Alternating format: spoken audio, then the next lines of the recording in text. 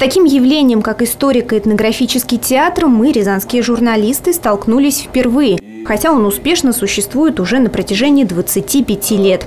Идея создания историко-этнографического театра возникла у студентов, выпускников училища имени Щепкина в 80-е годы прошлого века после работы над дипломным спектаклем «Снегурочка» по пьесе Александра Островского.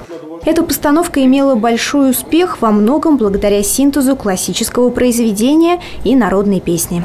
Тогда уже во время учебы возникла мысль не разбегаться по другим театрам, а попытаться создать театр вот такого направления, то есть синтеза профессионального театра со всеми его атрибутами и возможностями, и народные традиции в целом. Это была изначально такая вот отправная точка и идея. В этом направлении и продолжил работать коллектив, став единственным в стране драматическим театром, изучающим на сцене традиции и фольклор.